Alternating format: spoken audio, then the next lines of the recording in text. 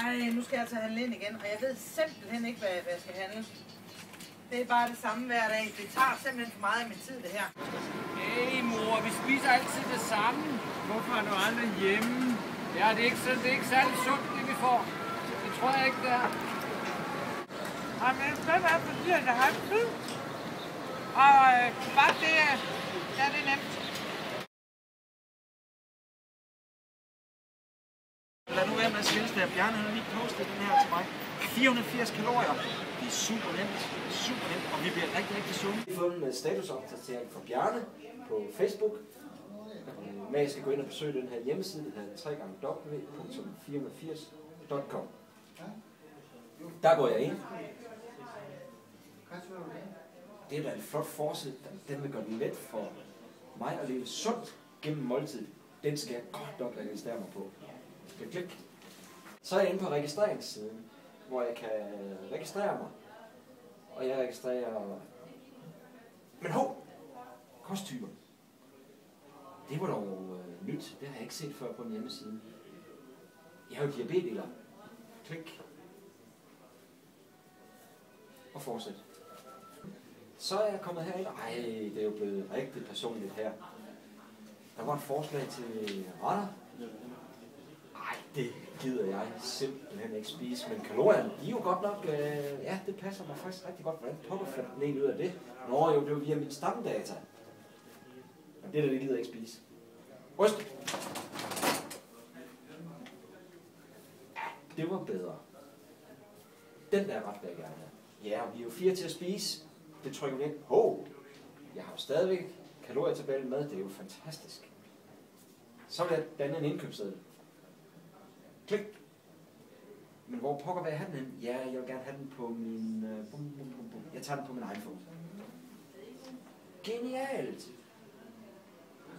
Det må jeg hellere dele med mine venner på Facebook. Super enkelt. Du skal bare lige have nogle enkelte få, øh, få ting ind, og så er du faktisk i gang. Står du der, jeg skal ikke hvor, hvor meget jeg vejer? Hvad har man så ud? Det kan du gøre, hvis du vil. Hvis ikke vil, så hedder det bare... Det er der bare nogen, der vil svindle. Hvem står bag ved det? Prøv at se, den er anbefalet af Hjerteforeningen og, øh, og firmaidræt og alt muligt har sagt, at det der, det er bare... Ja, firmaidræt får noget, og det er bare super og vi får 480, og det Det er jo det, vi- troværdigt. Men hvordan kan vores familie få glæde af det? Hvad, hvad med den der madplan? Skal jeg så bare ned og handle med dig?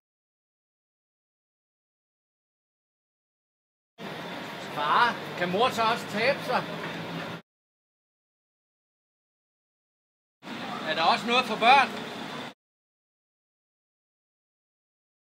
Wow, jeg kan bare lige trykke her. Så ryger den over på min... Øh, Ja, ja, ja, jeg har den her. Smartphone. Jeg har den her. har du? Ja, Er du røv? ja, prøv at se. Og hvad gør jeg jeg så? behøver ikke at sidde ved computeren. Jeg kan jo tage den med ned i supermarkedet, og hvis ungerne de så siger, eller vi kan sidde inde og lave det fælles, drenge.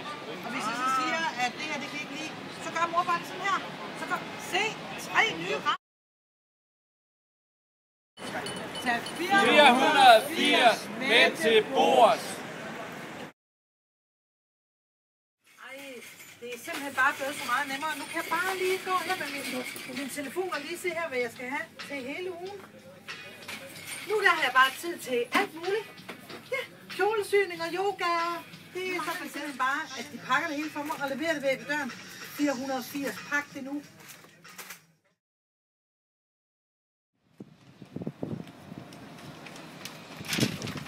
Hvad hedder det? Jeg hedder René, og jeg har, jeg er rigtig travl også. Men øh, 480 hjælper mig til at strukturere med min hverdag. Og jeg har det hele lige her. Ja, selvfølgelig skal jeg pandekager i aften.